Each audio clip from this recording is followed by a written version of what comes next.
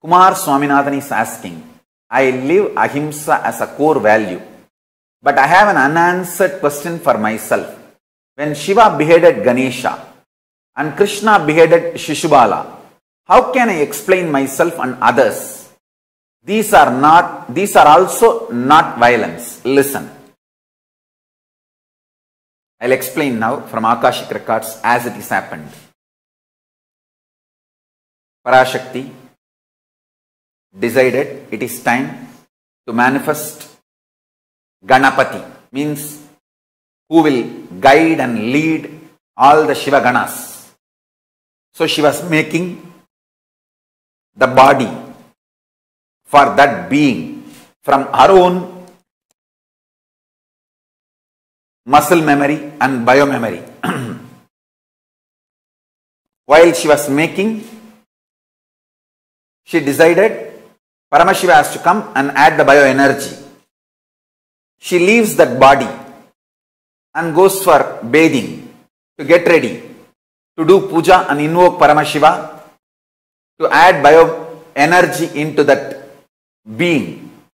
But by the power Parashakti herself made, that being become alive and started moving around before even Paramashiva added his bioenergy because of the power of Parashakti.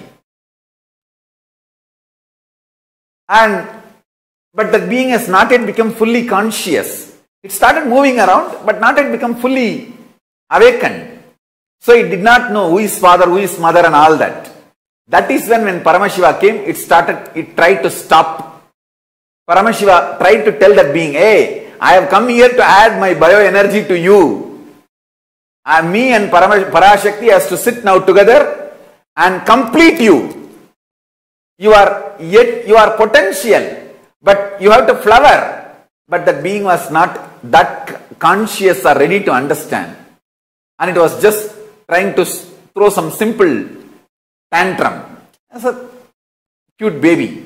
Then Paramashiva understood he has to now cut the head and add forcibly the bio memory of Parashakti and bio energy of him into that being to make that experiment success. So it is a simple experimental success strategy. To make the experiment success, it is a simple strategy has to do. I should say it's a most non-violent decision Paramashiva made. He did not kill Ganapati. He just removed some, some parts, added his own biomem energy and biomemory of Parashakti and put the whole thing into it and put beautiful elephant head and made Ganapati and made him as the head of all the Shiva Ganas. So it's absolutely non-violence. It is just simple surgery. Surgery can never be violence. It's like how you remove the tumor. The tumor removing surgery, it was just conscious surgery done by Paramashiva. He never killed Ganapati.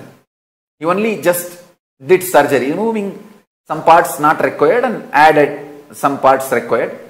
I should say that uh, first tumor removing and transplantation surgery done by Paramashiva is Mahaganapati successfully.